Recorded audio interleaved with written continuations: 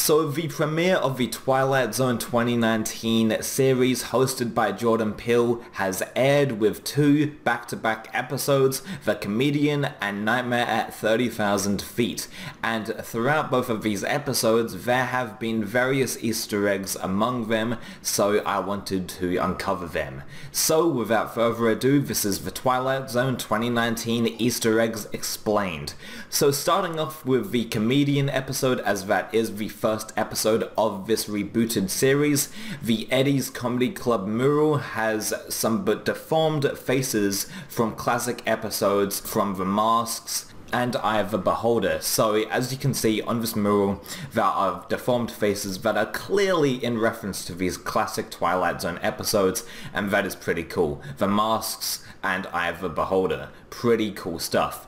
And later on you can see the main characters, well one of the main characters, Dee Dee, the female comic in The Comedian, drinking Kanamit, which is also the name of the alien race from a classic episode To Serve Man. So that's really cool Easter egg just tucked in there. And this is a running trend throughout the Twilight Zone, these two episodes, the 2019 series, is that a lot of these Easter eggs are not very, you know, clear. We have to really dig to find them, which is kind of cool, you know, very hidden Easter eggs. But anyway, so as Samir is checking his phone throughout the episode, one of Samir's phone contacts is Al Denton, which is a clear homage to the character of the same name in Twilight Zone classic episode Mr. Denton on Doomsday.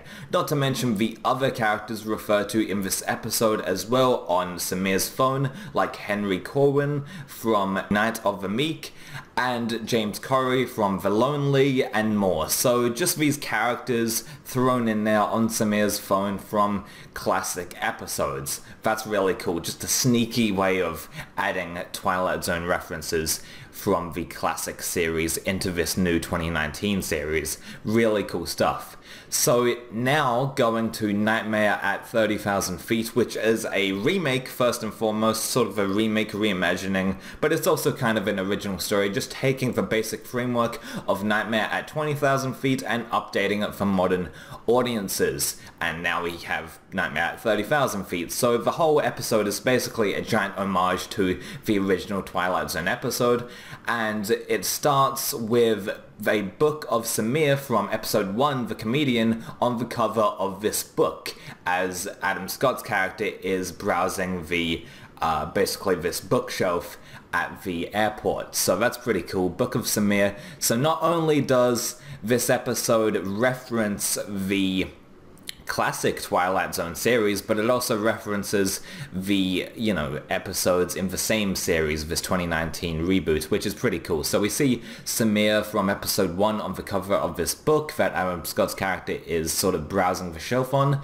and then the most obvious you know, Easter egg is the gremlin doll from the luggage after the plane crash. Now that's the most obvious one. It's the most in your face because, you know, we literally just see a shot of the gremlin doll right there. And the gremlin is obviously in reference to the original Nightmare at 20,000 Feet episode. Obviously just a giant homage. They had to do it. So the gremlin doll is from the luggage after the plane crash and I thought it was pretty cool to see, but a bit obvious. You know, this is probably the most obvious Easter egg on this sort of list.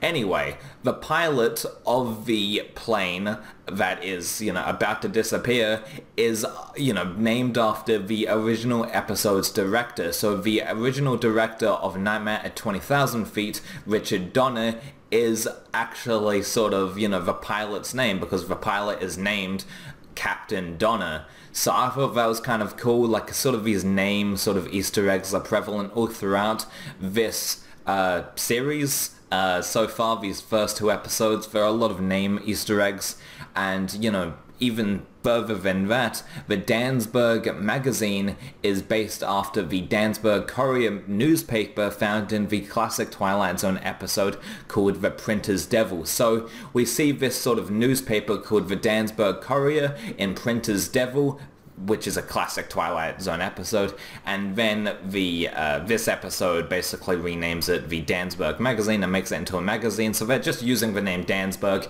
in a cool way. I liked it. And uh, anyway, you know, one of the other magazines on the uh, shelf is about Oliver Foley, and that could be in reference to Helen Foley from Nightmare as a Child. They both share the same last name. Could be a reference, I'm not too sure, but it's also referencing and referring to an upcoming episode of this Twilight Zone 2019 series called The Wunderkind. So Oliver Foley will be appearing in this Twilight Zone 2019 episode, but I'm not sure if it's a, also a reference to Helen Foley from Nightmare as a Child, you know, Marky, uh, Helen Foley, whatever you want to call her from Nightmare as a Child, which is also another classic Twilight Zone episode. I'm not too sure. So there are all of the, you know, that's all of the main Easter eggs throughout Jordan Peele's Twilight Zone remake, as the others are just miscellaneous ones that are basically just reusing a name of someone that has worked on the Twilight Zone 1959 series, or a character from one of the episodes, whatever. I like these type of Easter eggs because it's not, you know, in your face and they don't distract you from the overall experience of just watching an episode as a Twilight Zone fan, and even still, if you're not a Twilight Twilight Zone fan and you're just coming off of this series, you know, fresh, you know, not even seeing any Twilight Zone episodes, you don't really need to get any of these references to, eh, you know, basically enjoy this incarnation of the Twilight Zone, but they are a nice touch to the fans that have seen the prior episodes, and uh, I thought it was just pretty cool to see these Easter eggs, you know, on multiple viewings of the episode, and uh, yeah, if I missed any Easter eggs, what, you know, Easter eggs did you uncover during your watch through of these two Twilight Zone 2019 episodes? I really want to hear your thoughts in the comment section down below. Did I miss anything? Let me know. I basically covered everything, I think. Uh, you know, all of the name, you know, miscellaneous name homages, you know, I'm not going to cover all of them because we'll be here all day. But anyway, that basically are all the main Easter eggs. Please make sure to rate, comment, and subscribe, and I'll talk to you guys next time. Bye.